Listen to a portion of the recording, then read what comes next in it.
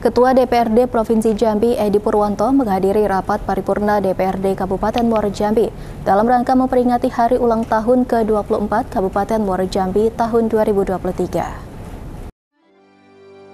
Ketua DPRD Provinsi Jambi, Edi Purwanto, mengucapkan selamat ulang tahun untuk Kabupaten Muaro Jambi yang ke-24. Bangkit terus, bergema, dan kolaborasi.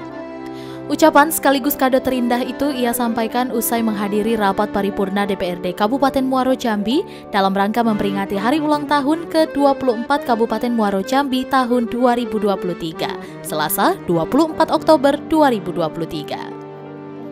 Edi Purwanto mengatakan bahwa tantangan-tantangan ke depan akan lebih berat lagi untuk dihadapi dalam pembangunan Kabupaten Muaro Jambi. Maka terhadap hal tersebut, Edi Purwanto berharap pemerintah Kabupaten Muaro Jambi untuk terus berinovasi dalam membangun Kabupaten Muaro Jambi. Selain itu, langkah menggali sumber PAD dan kolaborasi dengan pemerintah daerah hingga pusat diharapkan dapat terus dilakukan. Di sisi lain, Edi Purwanto melihat bahwa sebagai wilayah yang cukup luas, Kabupaten Muaro Jambi saat ini sudah mendapat berbagai perhatian, salah satu di antaranya dari sisi pembangunan. Bahkan, Edi Purwanto menyebut bahwa perhatian ini cukup signifikan di bumi Sailun Salimbai.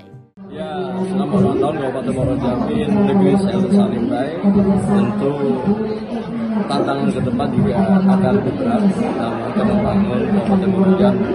Tapi satu hal kemajuan-kemajuan yang nanti kita rasakan cukup signifikan.